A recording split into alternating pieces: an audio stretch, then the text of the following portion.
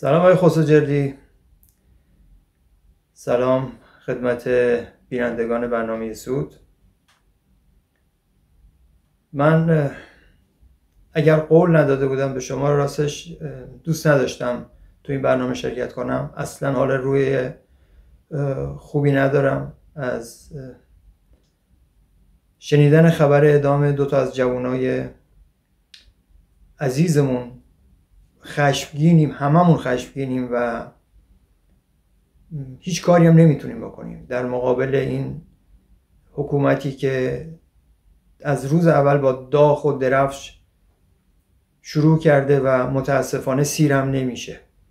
محمد مهدی کرمی جوان ورزشکاری که آرزوی رسیدن به المپیک رو داشت مدال های رنگارنگی رو در مسابقات مختلف کسب کرده بود.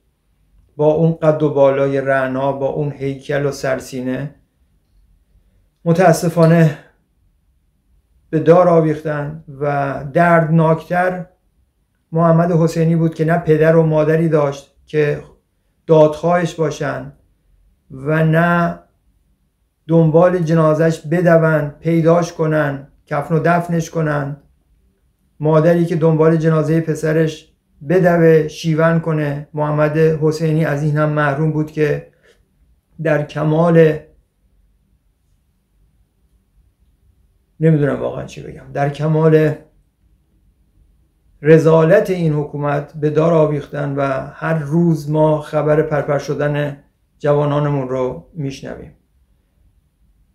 به احترام شما به احترام بینندگان برنامه سود وظیفه خودم می‌دونم که پاسخگوی سوال شما باشم.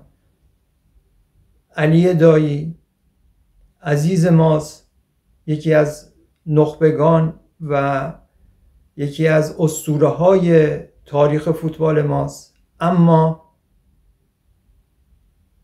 بی احترامی به علی دایی در مقابل گرفتن جان جوان و عزیز بچه های ما واقعا قابل مقایسه نیست و حکومت هم می‌دونه چی کار می‌کنه آقای خسوجردی سر به زنگام میاد کسی رو میارن در برنامه ای در یک سخنرانی در یک تریبونی به یکی از بزرگان که مورد وسوق جامعه است جامعه بهش احترام می‌ذاره یک حرفی بی احترامی بکنه افکار رو منحرف بکنن فرداش برن دو گردن برای تنابشون پیدا بکنن به دار بیاویزند و اینجور مردم رو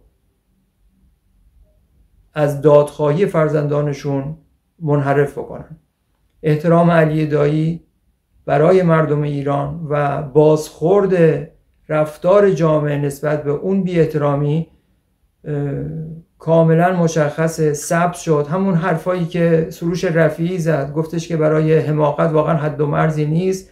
و بیشتر هم بپردازیم به اون گوینده صحبت ها بیشتر برد کردن اونه و مطرح کردن اون آقایونه. بهتره که ما از امروز هر خبری که اومد خودمون رو گول نزنیم و حتی اگر اومدن گفتن قاضی سلواتی رو هم ترور کردن نشنیده بگیریم. چیزی که در 24 ساعت قبل از اعدام محمد مهدی کرمی و محمد حسینی بعد از خبر بی احترامی به علی دایی اومدن توی رسانه ها پخش کردن شایشو من پیشنهادم اینه که هر خبری اومد نشنیده بگیریم تمام تمرکزمون روی اسامی باشه که زیر تیغ اعدام این حکومت قرار داره.